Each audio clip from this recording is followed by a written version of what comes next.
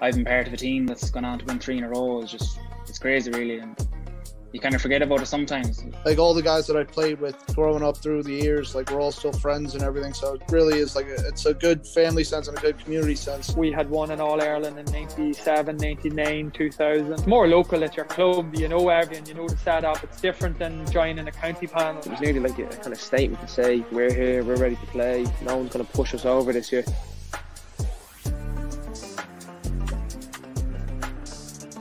This podcast is sponsored by Declan Kirby GAA Star. Declan Kirby GAA Star is a children's GAA book written by primary school teacher and GAA coach Michael Egan. Follow the trials and tribulations of Declan Kirby and his team at Smithgreen Gaelic Football Club. The book is a very good read for any parents who are looking to get their children involved in Gaelic games. The book is available in Eason's, Lidl, and all good bookshops. It's also available to download on Amazon, so make sure to go and check it out. They're very good supporters of the channel and the page, so you'd certainly be doing me a good favor as well if you went ahead and checked the book out. So I do very much appreciate it. The link is in the description down below, and let's get straight into it.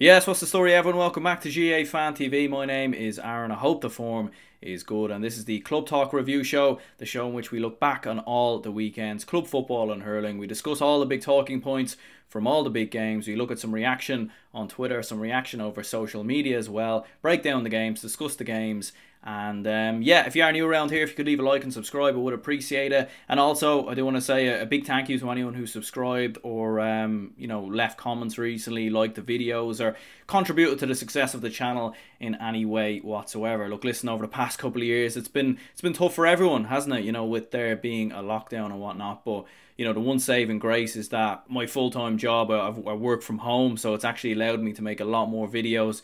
It's given me a lot more time to make videos and focus on this channel. So, although COVID has been horrible for everyone, the only kind of positive in my own life is that I've been able to focus a lot more on this kind of content and, these, and these kind of videos. And, you know, it's been very successful because of that and because of you lads as well. So I do really appreciate it. And uh, yeah, let's get straight into it. I do also want to say as well, like we get so much right, don't we? With hurling, like what a sport, what a game. Like sometimes the GAA is just absolutely breathtaking. Sometimes it's just absolutely unbelievable. It's emotional. It's you know there's heartbreak, agony, pain, ecstasy, but then there's you know unbridled joy, and we've seen that in many occasions this weekend. You know, you had Loughmore Castleiney with an extraordinary story once again beating Thurles Sarsfields by a scoreline of 214 to 213, progressing on into the Munster Club Senior Hurling Championship, completing a historic double in Tipperary, following on from what the footballer has done last week.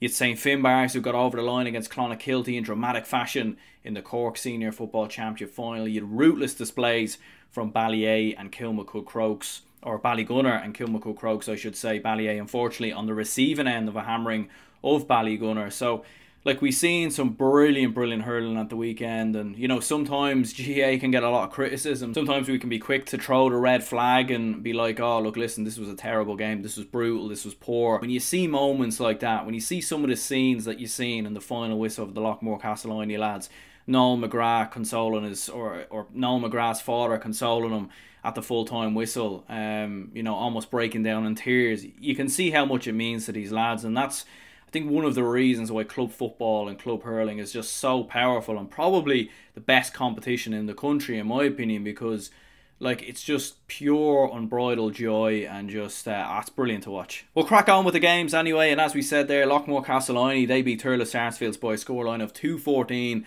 to two thirteen, and uh, I didn't watch the game live. I, I, was busy on Sunday. I was out Saturday night, so a bit of a hangover on Sunday to say the least, and I wasn't uh, wasn't in my own house on Sunday morning. So uh, yeah, look, listen, I didn't get to see the game live, but I did go back and watch it last night as soon as I got home, and um, what a win for Loughmore Castleiney. And you know, even when I was keeping an eye on the score, um, as the game was happening live. When John McGrath scores that winning free, you're like, of course, of course, you know, it just had to be John McGrath. It was like what we said in the preview where I said, you know, my prediction was that Loughmore Castleiney were going to win this on penalties and John McGrath was going to score the winning penalty. Not quite that prediction pulled off, but it was John McGrath who scored a winning score um, right at the death. Um, and, you know, it's just, it's fairy tale stuff written in the stars, whatever you want to say about this Loughmore Castleiney side, progressing on into the next round about Munster Club football and, and Munster Club hurling. Um, and having gone back and watched the game, I mean, you know, you were watching the first half and it was kind of the, you know, a similar trend for Loughmore Castleiney once again. A little bit slow out of blocks in the first half, 12 wides uh, in the first half in total. They were struggling to really get up to the flow of the game. I mean, Thurles Sarsfields weren't particularly brilliant either. It wasn't like they were miles ahead of, of Loughmore Castleiney, but certainly they were the more comfortable side in the first half. They had just four wides. Uh, as opposed to the 12 of Loughmore Castleiney. Dennis Maher of Thurles Sarsfields I thought was very impressive.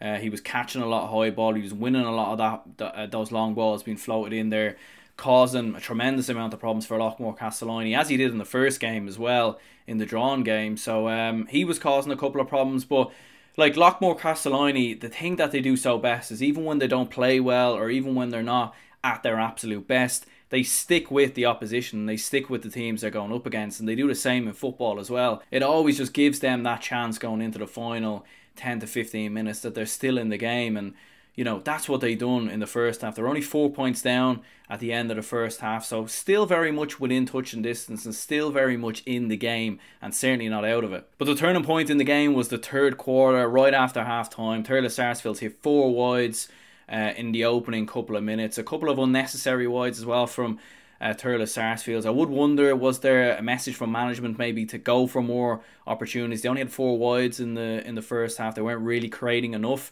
And was there a message there from management to go for goal a little bit more, try and take more points, try and punish Loughmore Castleiney a little bit more? But in doing so, they actually squandered up possession a lot of the time, hit a lot of chances wide you know, they hit six wides in the opening five to ten minutes of the second half, which was more than what they hit in the first half and the entirety of the first half. And Loughmore actually outscored Thurles 1 5 to a point before Dennis Maher's goal right before the second water break. And that was really the turning point for, for Loughmore at that stage. Like they were f- really, really dominant. The likes of Brian McGrath was doing absolutely brilliant. Connolly in around midfield was doing a tremendous job in and around there. And John Maher, of course, was extremely impressive as well. It was a lovely goal from Dennis Maher as well. Pa Burke burst forward, he slipped it into Dennis Maher, who got the goal for Thurles Sarsfields. And that brought it within a point, and you thought, okay, well, Loughmore Castleiney have had their best spell in this game. 1 5 to a point, but then that goal goes in, and all of a sudden it's just a point in the difference between the two. Thurles Sarsfields are certainly still in the game, they're certainly not out of it. And it certainly was in the melting pot going into the final couple of minutes. Adrian McCormick hit a couple of scores as well. And it really was there for anyone. It was there for either side. A lot like a lot of Loughmore's games over the past couple of weeks. And in the end, you know, a free over by the sideline. Up steps John McGrath, who actually probably had, you know, his quietest game out of the last seven. I mean, he won man of the match six weeks in a row on both football and hurling. So I think the man is entitled to a bit of a break. And even at that, he was still brilliant. Like he still scored seven points, two of which were from play, and obviously scored a winner. So I mean, what more can you say? What more can you need from John McGrath? And uh, like with this Loughmore side, I mean, maybe they need to start calling this parish in this town Lock McGrath. In all honesty, Lock McGrath, Loughmore, whatever you want to call it, because I mean, it's just incredible what they've done. Um, I'm sure there's going to be a statue of John McGrath at some stage in that town. Uh, never been there myself personally, so I don't know, you know, how the town looks. But I'm sure they'll have a. They, surely they have to put a statue of him in there at some point. I mean, this man, like what he has done, is just unbelievable. I mean, winning, scoring the winning goal in the football championship, and then scoring the winning point in the in the Loughmore Castleiney or in the hurling championship final. I mean, it's it's literally it's John McGrath's world, and we are all living in it. I've absolutely no doubt about it. This performance and this win from John McGrath's Loughmore Castleiney side. Not just him, by the way, Noel McGrath, Kieran Connolly, and John Maher as well. They've all convinced me that this is that life is some sort of simulation and it's Loughmore Castleiney who are dictating what happens here. They they are basically telling us what happens in life. I mean, I, I, I don't know. It was incredible stuff from Loughmore Castleiney. What a victory. And a notable person within the GAA community and within GAA circles is, of course, Buff Egan. And he was actually at the game between Loughmore Castleiney and Thurles Sarsfields. Uh, I believe he managed to catch the second half or the end of the game or something like that. Anyways, I was following his posts on Instagram. So let's actually show a couple of clips from his time at the game that he put up on Instagram and on Snapchat. And uh, very good because it samples the atmosphere of the game. So let's have a quick look. Trying to get in to see the end of the Tipperary final. Every door and gate is locked. Jesus, that's fierce action inside. Can't get in to see it. There's a man, woman, or child to be seen. It bait all. I was locked into the toilets. Now I'm locked out of toilets. Can't get in. No in. Jesus Christ. Must be nearly over now, sure. I was at the first hurling match. Massive win for Kilmighty. Massive win. Now here come Thurles. They're four points down. They probably need a goal. A lovely pass. Can he bury it? Chance. Goal. Back of the net. One point game. Brilliant goal. One point in it. We're going to the moon! To the moon! By God. A lot more! The big question I want to know is, will we ever see the Kilgarvan horrors out there in famed Semple Stadium? Will the day ever come when Buff Egan watches the Kilgarvan horrors in Semple? I'm here with the Loughmore Castleiney team. They created history here in Semple Stadium as they sentenced Thomas Austrians to the nation. Yeah, fair play to Buff there. He was at one of the intermediate games before that as well. So if you want to have a look, go on to Buff Egan's Instagram and Snapchat account to see the stories of himself at the game. And uh, I did also want to say as well, you know, I wanted to pass on my uh, thoughts with his family. It was actually his 10th year or the 10th year anniversary of when his sister died from suicide. I can't imagine how uh, his family, himself and his family felt when they went through that. Um, obviously, a tragic day in a tragic circumstance. And look, listen, fair play to him on the 10 year anniversary to be going out there, following hurling, following your passion. You know, just wanted to pass on my um, condolences. And suicide is a horrible thing. Unfortunately, a lot of people, a lot of us have know people who've died from suicide. It's tragic, unexplainable, and you can't you can't really get your head around it. In all honesty, I've lost a couple of people from suicide myself, and it's yeah, it's horrible. So I'll link down some suicide prevention links down below if anyone could check them out. And yeah, like what I said before, passing on my thoughts to uh, Buff Egan's uh, family and friends, and to himself there as well. And next up for Loughmore Castleiney will be Ballygunner. And Ballygunner, oh my goodness me, what a performance against Ballyea. An absolute annihilation, an absolute domination. They beat Ballyea by a scoreline of 320 to 2-6. I mean, this was clear and utter domination in its absolute finest. The energy that Ballygunner play with is frightening. They look a step ahead of everyone.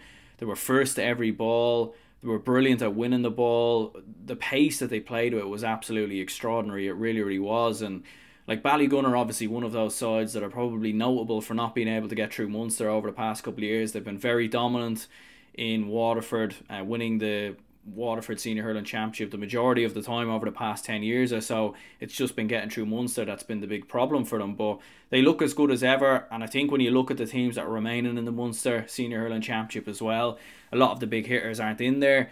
It's a huge, huge opportunity for Ballygunner to go on and win that and finally break that sort of voodoo that's held them back over the past couple of years in Munster. And yeah, like Dessie Hutchinson was absolutely brilliant. Some of his flicks at different stages, flicking it over players and whatnot, was extraordinary.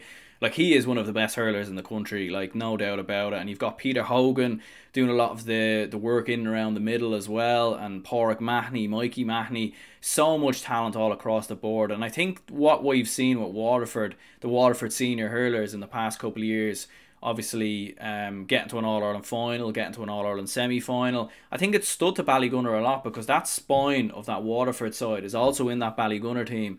You're thinking of Peter Hogan, Dessie Hutchinson, Stephen O'Keeffe as well. Okay, Pauric Mahony has been injured for uh, the championship for the past couple of years with the Waterford senior hurler, so we'll see what happens with him in the next couple of years. But having him back in the side as well for Ballygunner is a massive, massive plus. And like this game against Ballyea, like if this had been a boxing match, it would have been stopped after 20 minutes, uh, you know, maybe even less, in all honesty. Like this was round one knockout, clear domination, not even a contest in, in any way whatsoever. Ballyea didn't even register a point from play until the final couple of minutes. At one stage in the second half, the scoreline was 217 to 4 points. And for Ballyea, look, listen, I mean, it's hard to really kind of put your finger on what went wrong for them. They're obviously missing Tony Kelly, but I don't, you know, I understand that Tony Kelly is one of the best hurlers in the country, and they certainly could have done with him on the pitch. Would the scoreline have been as dominant as what it would have been if Tony Kelly was on the pitch? Probably not, but I still think Ballygunner would have won this game quite comfortably. I think for Ballyea, like from what I noticed, I haven't seen too much of them in the Clare Senior Hurling Championship. I've seen a couple of highlights and whatnot. They just didn't seem to be up to the flow of the game whatsoever, and they started really slow. They were slow at, I suppose, gaining possession, slow at working the ball, a lot of aimless balls into Noel Deasy, and like they were turning over the ball far too easily.